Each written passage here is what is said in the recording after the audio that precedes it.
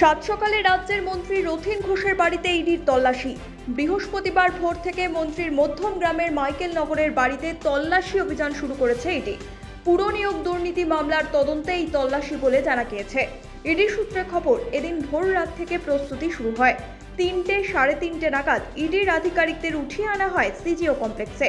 তারপর থেকে একে একে খাদ্যমন্ত্রীর বাড়ি ছাড়াও আরও অন্তত বারো থেকে তেরোটি জায়গায় পাঠানো হয় ইডির দলকে।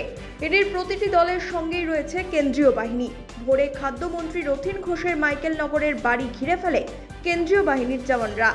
কাউকে ভিতর থেকে বাইরে কিংবা বাইরে থেকে ভিতরে ঢুকতে দেওয়া হয়নি বলে জানা গিয়েছে। হচ্ছে যে সকালবেলা শুনলাম যে রতিনবাবুর বাড়িতে আমাদের মাননীয় মন্ত্রী এ, রতিন ঘোষের বাড়িতে ইডির লোকজন এসছে। তো ন্যাচারালি আমরা দেখতে আসলাম আর কি, কী হয়েছে ব্যাপারটা জানতে। কিন্তু এখানে তো মিলিটারি ঢুকতেই দিচ্ছে না। তো ন্যাচারালি যাওয়ার কোনো প্রশ্ন নেই। না বেরোলে তো বলতেও পারছি না অ্যাকচুয়ালি কী পারপাসে এসছে ওরা। আর কেনই বা আসলো? কারণ একটা স্বচ্ছ মানুষ মানে আমাদের মিউনিসিপ্যালিটি প্রায় তিনটায় উনি চালিয়েছেন এবং খুবই স্বচ্ছতার সাথে মধ্যমগ্রাম মিউনিসিপ্যালিটির নাম আছে। সেইভাবে এখন জানি না কি কারণে। এটা সম্ভবত আমার মনে হয় এটা কালকে পরশু দিনের যে রিয়াকশান সেটার রিয়াকশান হচ্ছে আর পরশু দিন যে দিল্লিতে গিয়ে যে ধর্না টর্না দেওয়া হয়েছে তার একটা রিয়াকশান আর কি সারা বাংলায় ফেলার জন্যেই। এটা পলিসিগতভাবে মানে বিজেপি পলিসিগতভাবে করছে আর কি বাংলায় বিস্তার।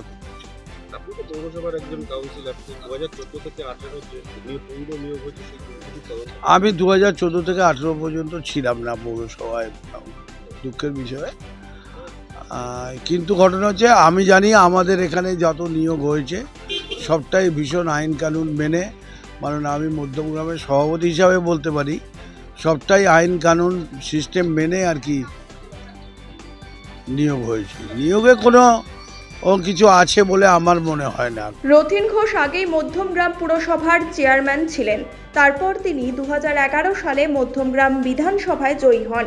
মূলত দু হাজার চোদ্দ থেকে দু হাজার আঠেরো সালের মধ্যে মধ্যমগ্রাম সহ রাজ্যের বিভিন্ন পুরসভায় নিয়োগ দুর্নীতি নিয়ে অভিযোগ উঠেছে। পুরসভাগুলির প্রায় পনেরোশো পদে নিয়োগ ইডি স্ক্যানারে রয়েছে।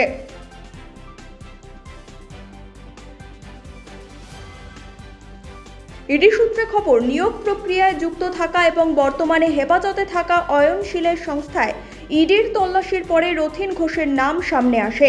অয়নশীলের অফিসে পাওয়া নথি থেকে বিভিন্ন ব্যক্তির সঙ্গে লেনদেনের তথ্য উঠে আসে।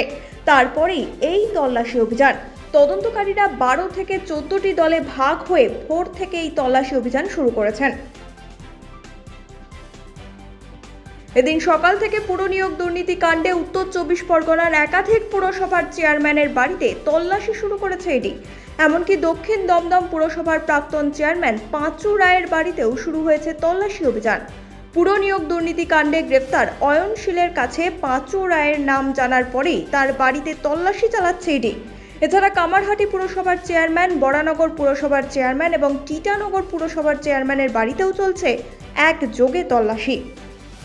দু হাজার চোদ্দ থেকে দু হাজার আঠেরো সাল পর্যন্ত রাজ্যের একাধিক পুরসভায় নিয়োগে বিপুল দুর্নীতি হয়েছে বলে জানতে পেরেছেন তদন্তকারীরা। কাদের কাছে নিয়োগ দুর্নীতির টাকা পৌঁছলো, তা জানতে মরিয়া তদন্তকারী সংস্থা। বুধবার রাত থেকেই শুরু হয়েছিল তোড়জোড়। বৃহস্পতিবার ভোর থেকেই উত্তর চব্বিশ পরগনার একাধিক পুর এলাকায় একযোগে তল্লাশি শুরু করেছে তদন্তকারীদের দল। Bureau Report One India Bangla.